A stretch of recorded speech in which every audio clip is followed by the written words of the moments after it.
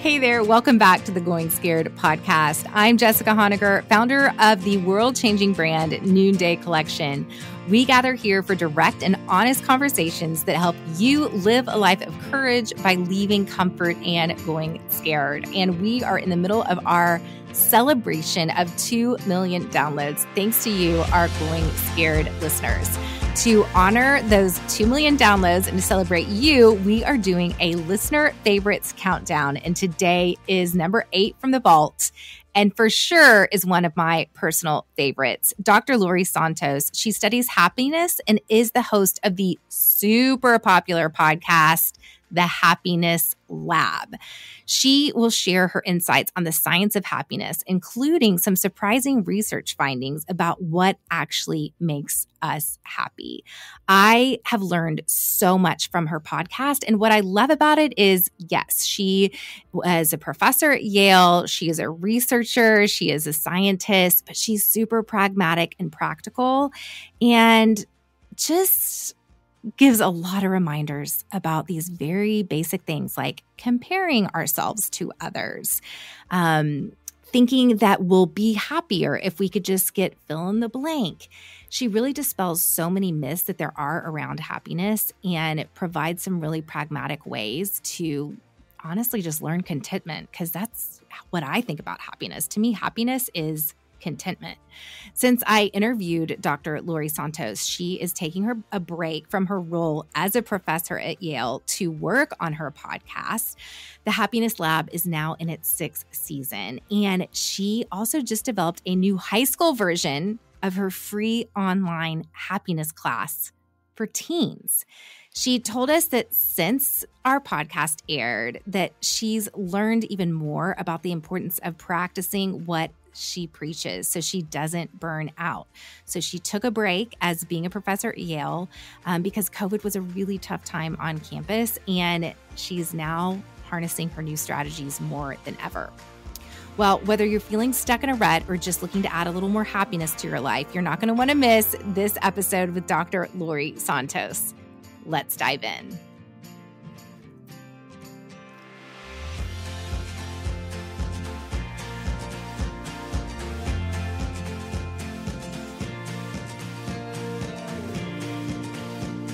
And I don't say this very often, but I hardly listen to podcasts because I have no commute to work. I do group exercise. I have three kids and I'm running a business. So, mm-hmm. but I love your podcast. And especially this last year as an entrepreneur, I've been on this journey of letting go of the myth that there is a point of arrival. Mm-hmm, mm-hmm. And so your interview with Michelle Kwan, I mean, it, I like, I just broke down. I was like in tears, like just and so I wanted to know if I can take you back in time a little bit, because I know it's been a hot second since you did interview her. But tell me, because I know you are a fan of hers now too.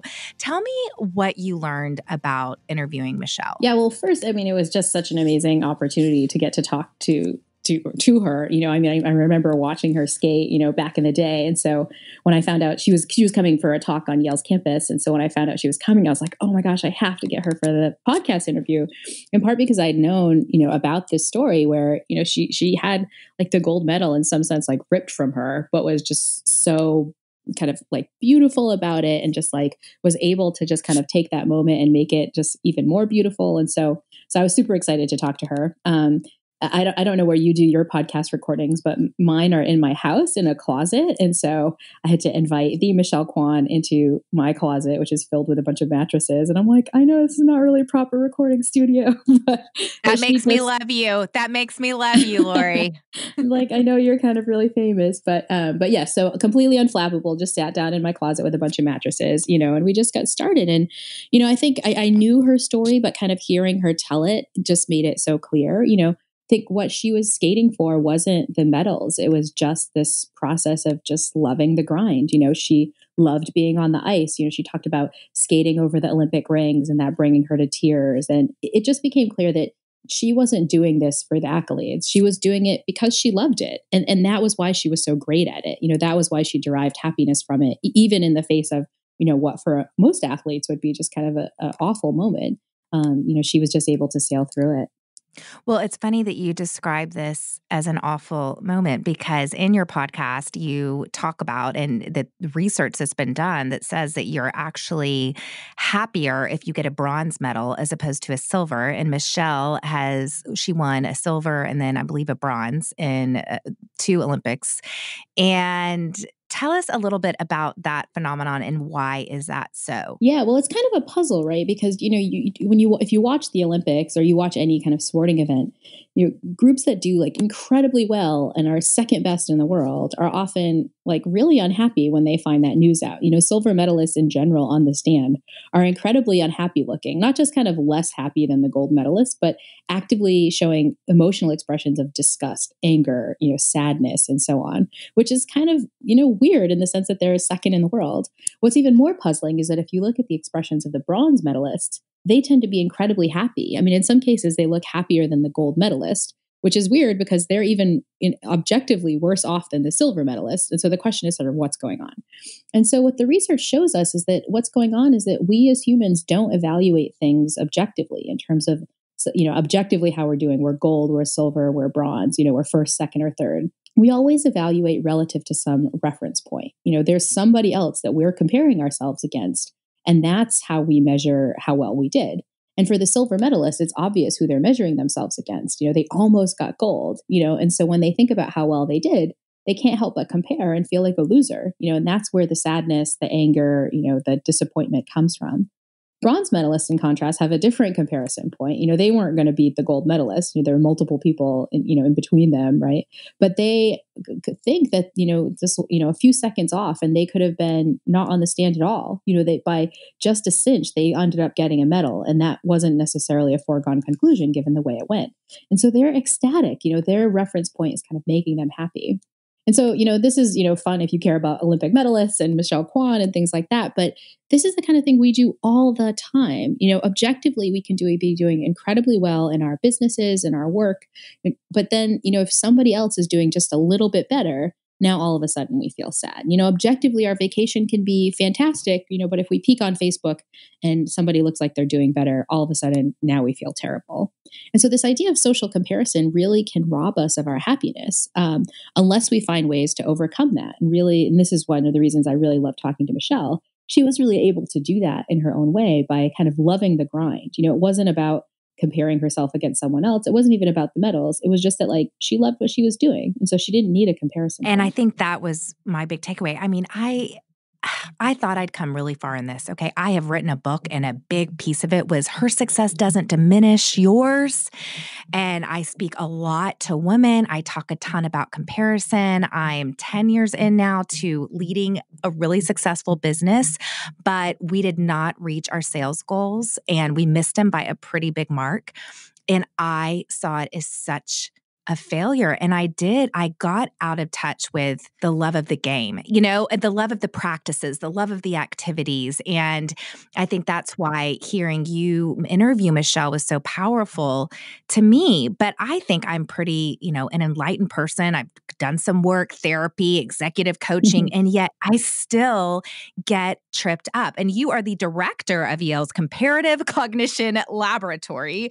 So let's talk a little bit more about comparison because you also can talk about the benefits of comparison. So, share with us a little bit about comparison cognition and what is it and why do you study it? Yeah, well, I think, I mean, one of the things we know from studying how social comparison works is that you can know that all these phenomena are going on, but that doesn't necessarily shut them off. And this is true for social comparison. It's true for lots of the ways our mind works. You know, you can know the kinds of things that you're supposed to be doing right and know that these phenomena exist, but that doesn't necessarily make them go away. And and that sucks, you know, like it sucks to be, you know, in some sense an expert on some of these biases and still fall prey to them myself. You know, I'm going to feel just as bad about my vacation, you know, if I scroll through someone else's Instagram. You know, I'm going to feel just as bad about my bikini pics, you know, when I see Beyonce in her bikini, right? Like that's just the way minds work, even if you know. And so I think that's kind of the puzzle. I mean, for people like us and, and who, you know, know this work and have gotten this kind of training, it's still really hard. You still have to put a lot of work in to find strategies to get around this stuff.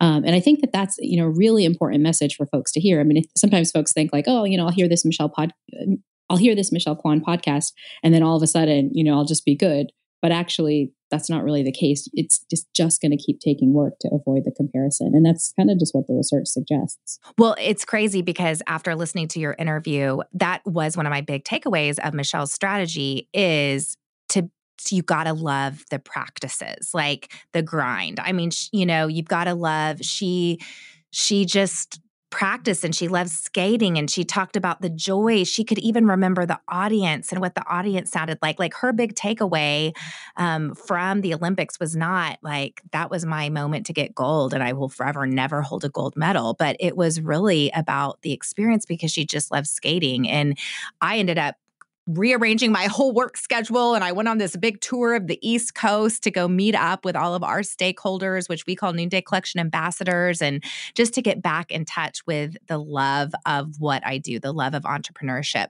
What are some other strategies that are helpful if you fall prey to comparison? Well, I think one is is taking a different comparison point, right? I mean, what the research shows is that our minds can't shut off comparison necessarily, but we can definitely pick which comparison points we're paying attention to.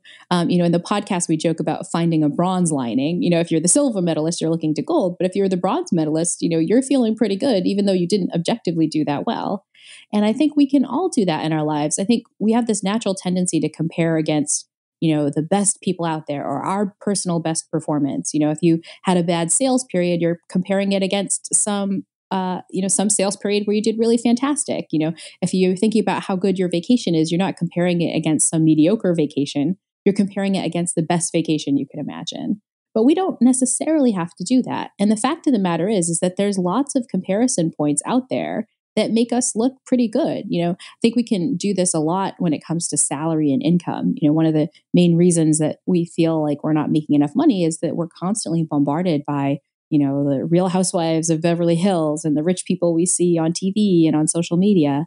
Like, if you actually look at what real people earn, sometimes you can say, wait, hang on, like I was feeling bad before, but now this is actually something that can make me feel better. And so I think finding those comparisons that aren't necessarily the best of the best of the best, but like what real people are doing, you know, real body, real salaries, real vacations, real sales performances, like that can actually make you feel better. A second thing you can do is not to necessarily look to real people, um, but to do a, an imaging visualization where you think about what life would be like without that sort of thing. And this is a tendency, this is a, a, a practice that researchers call negative visualization. Um, it's kind of like the "It's a Wonderful Life" phenomena. You know, like if you think back to the you know famous Christmas movie, it's you know what would my life be like if I just wasn't there? But we could do that for anything. You know, what would life be like, you know, if I didn't have this job opportunity at all? Or what would life be like if I didn't have this vacation at all? I didn't have my spouse, or didn't have my kids. Like you can quickly do that fast negative visualization. And it causes you to have a lot of gratitude. I mean, basically, what you're doing is you're setting up a comparison point that's in some sense you know really bad. You know what would life be like if i didn't have this job at all? Now all of a sudden just the act of having the job even if it's going badly you're like this is great. I can't you know i'm so grateful for having this there.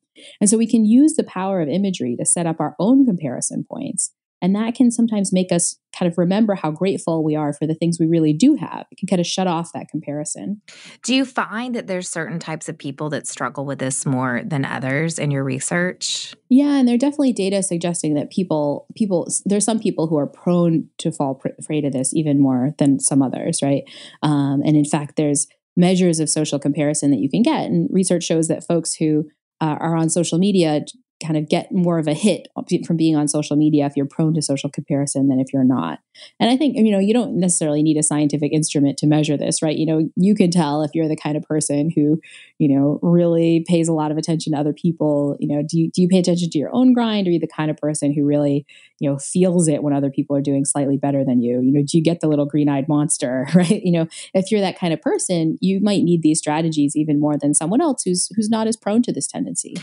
Let's talk you brought up salary and money, and I love that because mm-hmm. you do a whole podcast talking about, you know, the, the, one of the guys who wins the lottery and I think ends up committing suicide. And you know your whole thesis is there is there is a threshold of happiness and we over project usually this point of arrival. We think we have point of arrivals in our mind whether it's our weight when I finally weigh that when I can finally fit into those jeans when I can finally earn that salary when I finally land that boyfriend.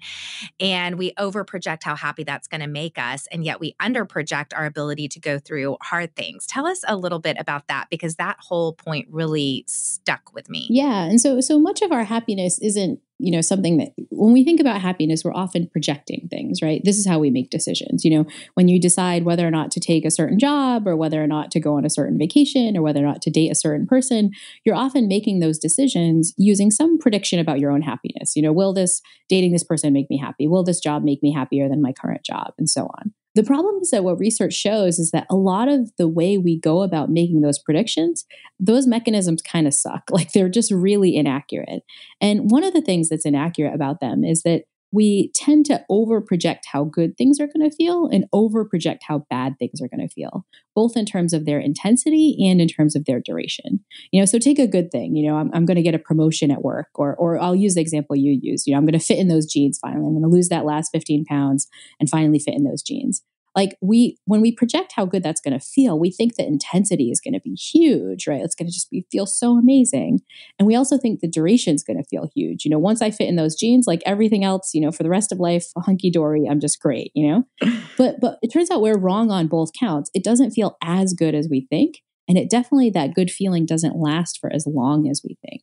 And that means that sometimes we put these these good events in our lives up there like you know i'm going to just keep my life on hold till i reach this happiness point of you know the perfect jeans or the perfect job or the perfect relationship. And in practice once we get there we're not going to be as happy as we think.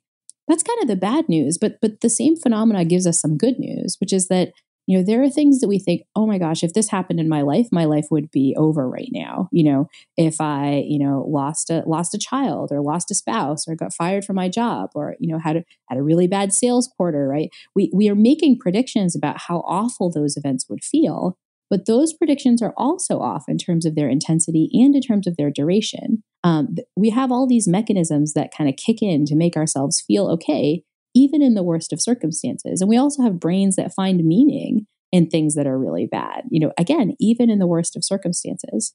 And so in the podcast, we talk to people who've both had these awesome good things happen like win the lottery or or just just absolutely terrible things happen like you know losing limbs in a car accident or you know get, getting an incurable disease and in all these cases what you find is what we would predict from the outside you know this would be fantastic or this would destroy my life those predictions simply are wrong and that is, you know, important for the good stuff. It means we shouldn't be out there, you know, throwing our all into pursuing these things, given that it's not going to give us the happiness we think. We, at least we should be more realistic about what those achievements are going to feel like. But I think it gives us an even clearer glimpse into the fact that we're just going to be more resilient when the bad stuff comes up. You know, when the breakups happen, you know, when we get bad news at work, when we get bad health news, it's not actually going to be as bad as we think. Our resilience is going to kick in much more than we expect. And the mindset, what do you think it's costing us? That mindset that when we get to this point of arrival, it's going to equal A, B, C, and D. What is that costing us? Well, I think the cost is that when we kind of get in those mindsets, what happens is that like, when we finally achieve the thing, we're off in terms of our prediction of happiness. So so let's take, you know, the jeans example. You know, when I finally lose the 15 pounds, I fit in these jeans, it's going to feel amazing. You know, there's that one morning you put them on and it, it feels good, but maybe not as good as you expect. And what that means is instead of realizing like, wait, hang on, my prediction was off, what we think is I need to double down. You know, maybe I need to lose another 5 or you know maybe i need to fit into these other jeans that i'm just simply never ever going to fit into right i think what happens is when we don't get the result we want it's not that we throw away the enterprise we kind of double down on that that next accolade that next thing. And i think the domain we see this most in in the in the kind of business world for all the women who are kind of listening to this podcast is in the context of salary. You know we think if as soon as i achieve a certain salary level or a certain level of success at work i'm going to be good i'm going to be happy and then that doesn't happen. And we're like, oh, wait, maybe it's not that success level. Maybe it's like one higher that I have to achieve. I have to do more, more, more. And then we do more, and then that doesn't work. And then we think, well, I, I still need more, you know? And so I guess two things there. One is that we we end up continually kind of going after this stuff that's not going to work. But in the face of it not working, then we double down. And that means we're constantly on this, you know, treadmill of pursuit of things that aren't going to give us the happiness we expect. So what gives us happiness? How do you define happy? Yeah, well, this is a, it comes from the research, right? And and one of the things that the research tells us is that the things that really make us happy, that really give us long-standing happiness, happiness that's going to stick, they're not often the things we think. It's not you know the money and the shiny accolades. Uh, it's it's different stuff. And so one of the things the research suggests does really bring happiness is social connection like taking time to have truly meaningful social connection with other people. And that can be your friends and family members. It can be, you know, a barista at a coffee shop if you really take time to talk to that person and make connections. Happy people tend to have these deep, meaningful social relationships. And, you know, this again, we kind of know this, but but what's scary is that we often put those things on hold when we're prioritizing the other stuff, you know, like time at work, you know, time to like, you know, be at the gym to perfect our bodies. Like, you know, those are the things that we often can can can be prioritizing. And that means we're putting on hold some time with the people we care about. And from a happiness perspective, that's kind of an error. Um, another thing the work on happiness suggests can bring us again more well-being than we think is taking time to be other oriented. And I think this is a mistake we make a lot in the present environment. You know, right now we're in the midst of the, the holiday season, we're about to enter the new year, and like every magazine you look at, it's like self care, you know, treat yourself, like put yourself first, like self, self, self. But the research on happiness suggests that that might not be the best strategy. In fact, research shows that happier people tend to be other oriented. In other words, they're kind of worried about helping others. You know, they want to volunteer more, they want to donate more of their money to charity rather than buy stuff for themselves. They tend not to be as focused on themselves. And again, you know, this is something that we just don't predict. Like it's just kind of countercultural to say, you know, I'm having a bad day at work, you know, rather than get myself a really nice latte or a manicure, I'm going to gift a coworker a really nice latte or a manicure. I mean, the research shows that that would make us happier, but it's kind of not the strategy we think. Um, the final thing I think that's really tough about happiness, and that we that's like tough, especially for busy working professionals, is that happier people tend to prioritize their free time um, happier people have what researchers call time affluence this idea that you just feel wealthy in time um, you know it's a very foreign concept to me. Um, it's one you know I, I, more often feel what researchers call time famine where you're literally famished for time. Um, but again you know we think the route to happiness is like pack your schedule like pack pack pack more and more and more more meetings more stuff more accolades. But actually the research suggests it's just the opposite. It's having some time to breathe. Um, it's, you know, maybe canceling some of those meetings to have some time off just to have a break. Again, not what we expect, but it's what the research shows. Oh my gosh, that's the story of my life right now because my big goal for 2020 is to take control of my schedule. And I realize I need more free time to feel creative and present. And yet I feel really selfish about carving out just random free time during my workday. I don't have any problem like self care. Actually, you're like self care. I'm like, I love a good mani. I mean, I don't know if it makes me happy. It definitely makes me happier when I take a friend and treat her who can't yeah. really afford it. Mm-hmm, so mm-hmm. I love that. That is like double happiness for me. But I wonder where does that come from? This idea of I mean, I love that research actually shows that what did you call it? Time wealth, time affluence. So it's like, yeah, it's time like wealthy in time. Yeah. Uh, I mean, uh, how do we how do we get a mindset of time affluence? It's really hard. I mean, it's hard for a couple of reasons. One is, you know, as I said, our minds the, the whole theme of our podcast is this idea that our minds lie to us about the sorts of things that make us happy. You know, our minds think pack the schedule, that's going to do it, you know, more and more and more, right? But turns out our minds are just wrong. I think in this case our culture is wrong too, you know, especially, you know, I'm here at Yale University where I see these elite college students like, you know, they can't not pack it in. And in fact, when they don't have stuff on their schedule, they almost get anxious. You know, their first reaction to a little time affluence is to kind of, you know, freak out about like, you know, what am I doing wrong? It's it's almost like a status signal that you're doing something wrong, that you're lesser than the people who have really packed schedules.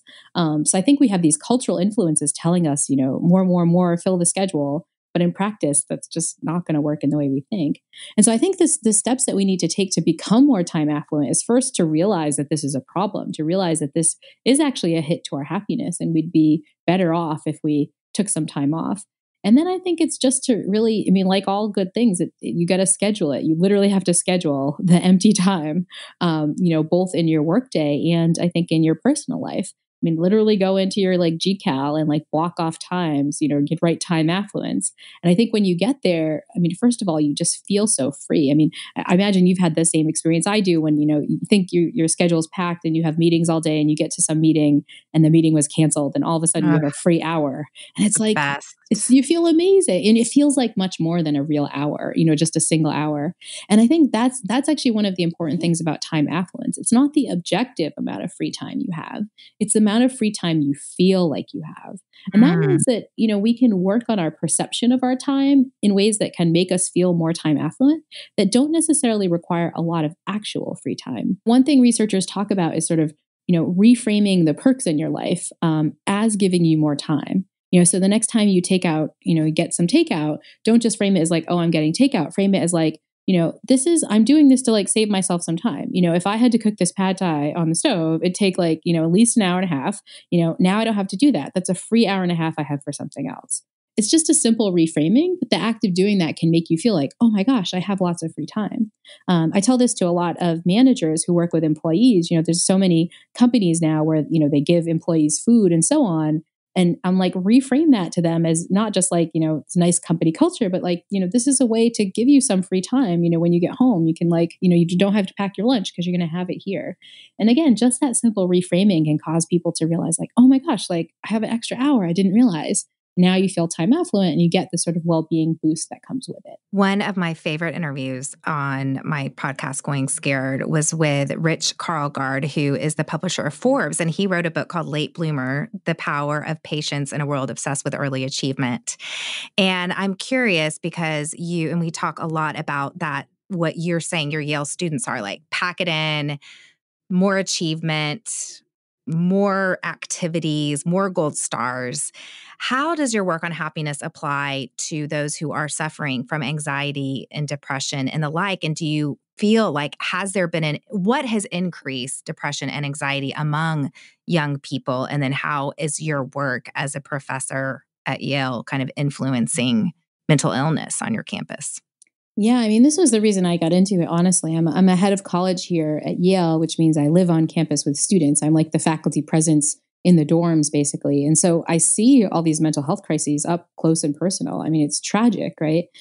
The, this question of like why these things are increasing i mean it's in some ways it's the million dollar question we know that these things are increasing and they're increasing at staggering rates it's not just about stigma going down. It's not just about people reporting more. Like we know that these things are going up. I mean, just one recent statistic among young people, people under 30, is that uh, depression rates among people under 30 have doubled in the last nine years. Um, which is like incredibly sad and crazy. But we don't really totally know what's going on. Um, that's the honest answer. There's probably lots I mean, can you correlate though? Like in the last 10 years is when the iPhone came out. Well, and I mean, this is what I was going to say, right? Is that, you know, there's, there's little causal data on this stuff, but, you know, there is one striking correlation that you brought up, you know, especially nine years, like, hmm, what happened nine years uh-huh. ago? Like, you know, um, these devices that we all have in our pockets. Um, it's incredibly hard to do good research on whether those types of things are affecting us because nobody there's no one around that doesn't have an iphone or if they don't have an iphone they're kind of weird you know it's kind of not socially representative for other reasons. Um, but there's lots of reasons to suspect that tech might be hurting us in ways that we don't expect. I mean one reason is that tech is really hurting our sleep something else we know is really important for well-being and this is especially true among young people um, you know, I think that the recent statistic I heard was that the percentage of 15 year olds who have a smartphone that sleep with it is around 85%. Um, and wow. you know why? Because they use it for their alarm clock, right? You know, that's why they have it beside them in bed. Um, but of course, that's going to affect their sleep because, you know, there's a lot of attention grabbing stuff on the other side of your iPhone. And so it's going to affect your sleep, not to even mention the blue light and things like that. Um, we also know that technology is affecting our social connection. You know how often have you like not stopped to talk to someone in the office just because you were like checking your email? You know i experienced this too you know i live on campus with students as i was mentioning we have this lovely courtyard that you walk through and anytime you walk through the courtyard there'll be you know students in my community who i'd love to like have a two second check in with. But sometimes when i'm rushing across the courtyard i have my phone out and i'm checking my email and i just like you know, honestly just don't notice the students that are there. Definitely don't do the stop and chat with them, right?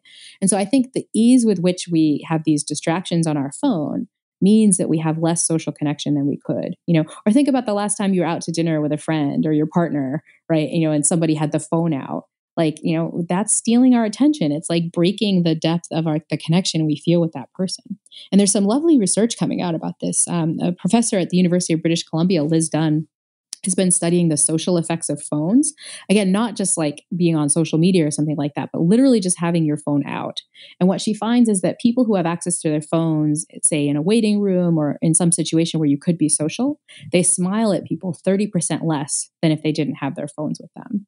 And, mm. you know, hmm. that simple act of just smiling and connecting with people, you know, that's part and parcel of like a lot of the social kind of connection that we have that's really increasing our happiness. And so if you multiply, you know, that 30% less smiling toward, by everyone in the world who has a smartphone in their pocket that's paying a little less attention to their partners or a little less attention to being mindful when they're in certain situations like when they're eating food and so on you know these things i think are are not helping us um, again so there's like there's not great causal evidence about it but the correlation is striking even if you just look at individual behaviors there's definitely things we could do with our smartphones to improve our well-being but a lot of time we're not doing those things. A lot of time we're using them in ways that just statistically should be reducing our well-being. I have three kids eighth grader sixth grader fifth grader. We let our daughter buy her phone in the seventh grade so it's been about eight months now and i've hated it.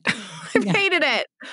Um, but at the same time i know that it's real and i do feel like this is this guinea pig generation you know that mm-hmm. it's like we're going to be start now there is research now there are people that are researching this and they are i believe going to start revealing and showing correlations if you could take us like 10 years from now um, what do you think are some of those I don't know. I this acting asking you probably something impossible, but in light of some of the research that's coming out, what are some of those activities and things that we can do that in that correlates with our iPhone that you think will increase our happiness? Like what do you like the conversations that you think are going to be a little bit more prevalent? Yeah.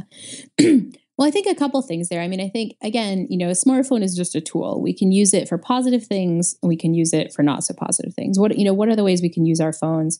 In, in terms of a positive effect on our well-being. Well one is to use them for social connection? You know it's funny that an iphone is called a phone because if i look at you know how often i actually use it as a real phone you know to like pick up like talk to someone in real time on the phone that happens way less than like me checking my email or me reading some blog or me you know doing whatever right? And so i think like using phones in the way in some ways they were intended which is like to actually make a real connection can be helpful. Then i think using them for all the practices you know that we've just talked about you know taking time off. You know, use your GCal to schedule some time off. Um, or or do use one of these many apps that allow you to engage with something mindfully. You know, these sort of mindful meditation apps or gratitude app, another great technique. Um, thinking about the things you're grateful for. You know, getting back to the things we were talking about with social comparison before. Um, so I think there's lots of ways that we can use our phones positively. I think another thing that will happen in the next few years is that I, I hope we're going to develop better norms about how we use our phones. And I think that's one mm. of the problems now is that they've kind of just infiltrated all aspects of our life because you know they're really addictive. You know there's fun stuff on the other side of our phone. But i think as we study more and more about the effects of these things we might get better norms. Like you know when you come into a restaurant there's a spot that you check your phone. You know just like you put a cigarette out when you walk inside you know we might get to a point where like no normatively you should be like you know putting your phone away um, when we engage with certain situations. And I think more and more that that's going to happen.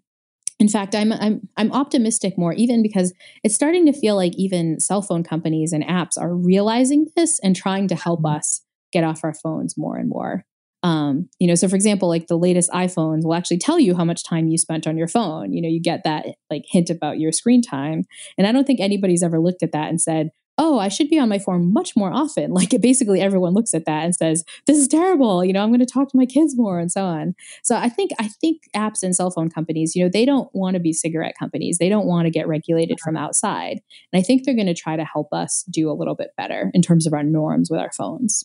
That is so interesting. Uh, I am so excited to, yeah, for the social norms around how we use our phones to begin to change and for it to be a cultural shift.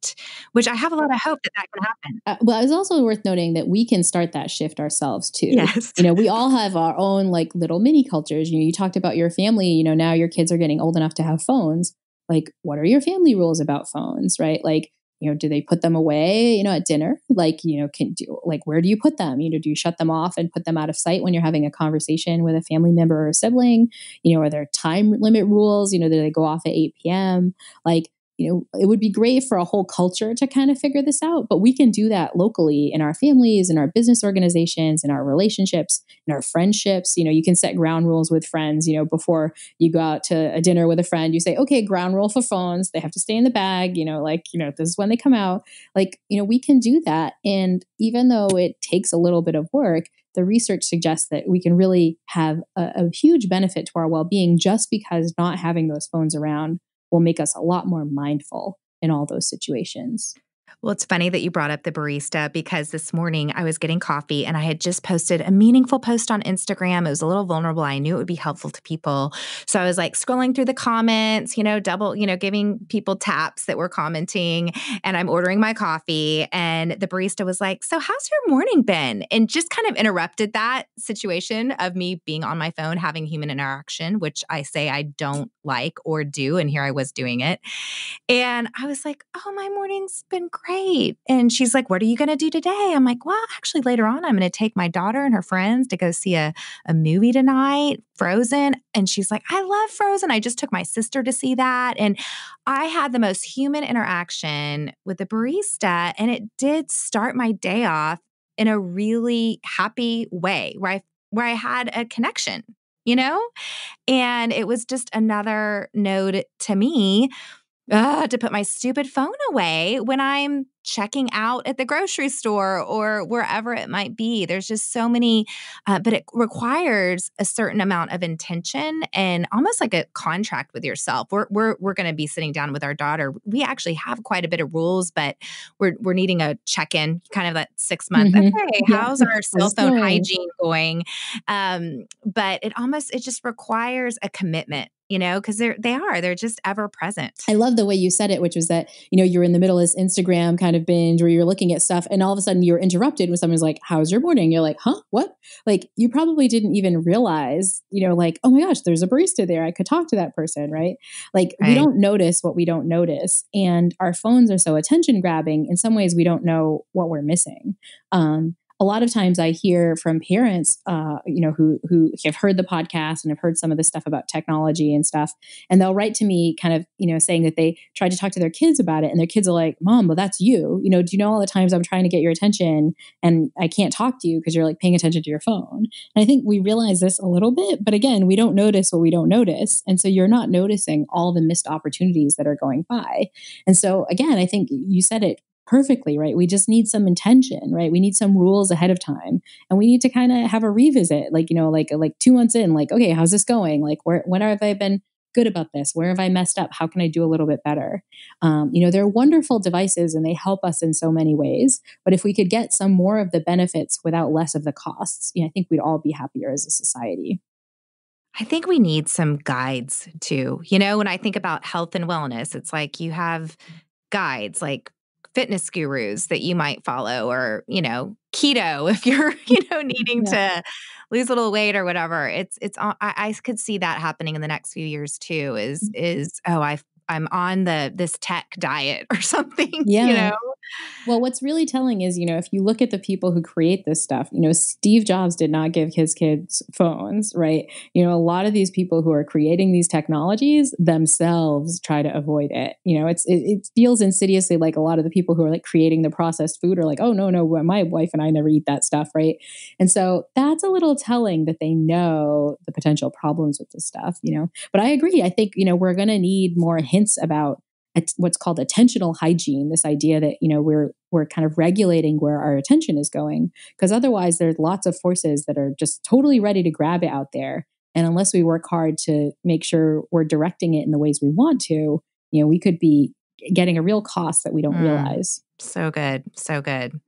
Okay, we are airing this episode in 2020, and I like to ask all of my guests, how are you going scared right now? Um, well, you know, I think uh, for me, it's like really trying to find ways to overcome the sorts of things that are scary to me. I mean, I think, uh, you know, we're starting our second season of my podcast, uh, which already just doing a podcast as like a nerdy academic was kind of a scary thing. Um, but I think jumping into season two, where I think we're going to be pushing the mold a little bit and, and really getting into some controversial issues. And so I'm looking forward to that, but it's making me a little scared. Um, I'm also now recovering from an injury. I slipped on the ice and hurt my knee very badly. Oh. Um, and so I think going into 2020, I have a lot of like physical therapy and of like health recovery ahead of me that I'm not looking forward to. Um, but I'm trying to kind of embrace that with acceptance and intention um, and sort of look at it as a journey in the spot where I can grow more. So, so those are my 2020 uh, going scared tips. Going scared tips the happiness lab with dr Laurie Santos it is so so good. And it's funny because you don't come off as a nerdy academic. I mean i just you know you're you're so approachable and all the stories are so relatable. And then the research is all so interesting. And i think especially i have a lot of moms who listen to this podcast a lot of entrepreneurs and it's we're raising little little ones like the ones that are eventually end up at yale and where you're seeing, oh my gosh, these kids are anxious and overachievers. And, you know, we kind of want to stop that cycle, you know, really, we want to stop it now. And so I think a lot of the tips that you give and the research that you show is really helpful for people parenting. No, I think that's right. I mean, I think, you know, it's hard to apply to ourselves sometimes, but we definitely worry a lot about the well being of our kids. And, you know, the science gives us tips. You know, as moms, eh, what we face is a struggle where we have the wrong intuitions just because our minds are wrong, right? Like everyone has the wrong intuitions, but that means your intuitions about parenting might be wrong too. And so I think it's all the more important to learn about the science so you can figure out, okay, what are the best practices? How should I do this right? Um, to sort of make sure that you know again the kinds of mental health problems that i'm seeing in my students you know you know some of that's deeply genetic some of that's out of our control but some of that you know we can fix up if we have the right healthier practices Thank you for tuning into this episode of the Going Scared podcast with Jessica Honegger. I am counting down the days for the next season of the next happiness podcast to release. You can check out Dr. Laurie Santos' recent work that is the Teen Happiness course at coursera.org. That's coursera.org. Thanks for joining us on the Going Scared podcast. Tune in next week as we move on to our number seven listener favorite. I'm Jessica Honegger. Until next time, let's take each other by the hand and keep going scared.